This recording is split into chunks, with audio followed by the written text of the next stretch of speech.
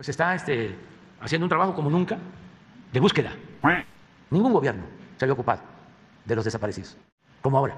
Toda la Secretaría de Gobernación está dedicada a eso. Y a buscar fosas clandestinas, porque eh, no se debe de olvidar de que hubo una guerra contra el narcotráfico. Y durante esa guerra murieron muchos y eh, los desaparecían. Entonces nosotros cuando llegamos asumimos la responsabilidad de buscarlos y de ayudar a los familiares y es lo que estamos haciendo, sin ocultar nada.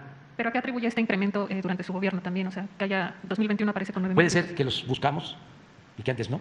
Los buscamos y que antes no.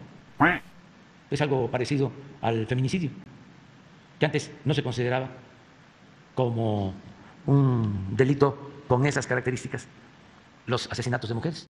Y a partir de que llegamos, se empezó a clasificar. Que es también otra nota ¿no? de toda la prensa conservadora, hipócrita, que cuando se desató la guerra,